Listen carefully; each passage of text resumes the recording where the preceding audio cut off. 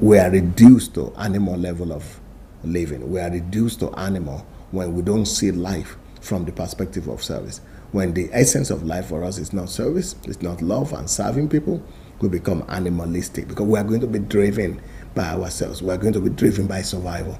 We're going to be driven by making a living. And as long as you begin to be driven by making a living and trying to survive like that, there is no end to it. It's only going to get worse and worse. You keep on taking. You will take first from, you know, things that people don't notice. You will take. You will keep on taking. You will take from your family, from your parents. You will take from your brothers and sisters. You will take from your spouse. You will take from your children. You will take from the very people you are supposed to take to, to care for. Then you begin to take from your country. You begin to take from. That's what selfishness does. You begin to take from your environment, from the nature. Then you begin to take from the world.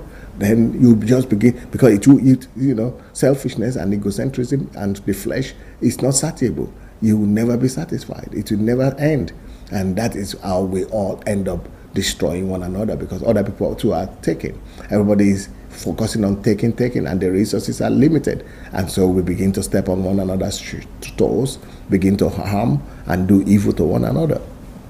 So, and um, when you take more than you are given, when you take too much and you are given so little in return, uh, you discover that you have more animalistic tendencies than human tendencies. Service makes us human. Love makes us human.